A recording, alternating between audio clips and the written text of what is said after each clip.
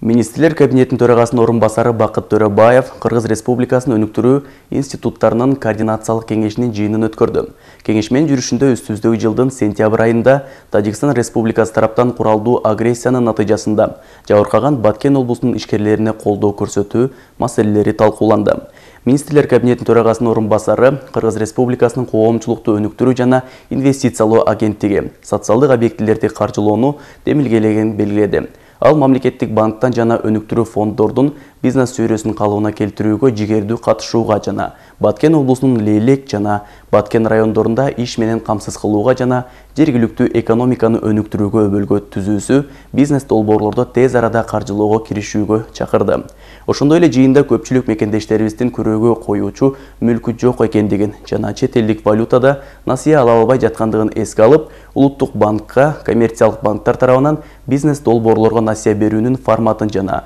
механизмдерин кайра қайра қарап шығуға же өзгерту сунушталды бұл қатар айыл чарба министрлігінің дыйкандар өстірген картошканың түшімін сату қосымша көлемде құмшекер май сатып алу мәселелері тез арада қолға алуысы тапшырылды.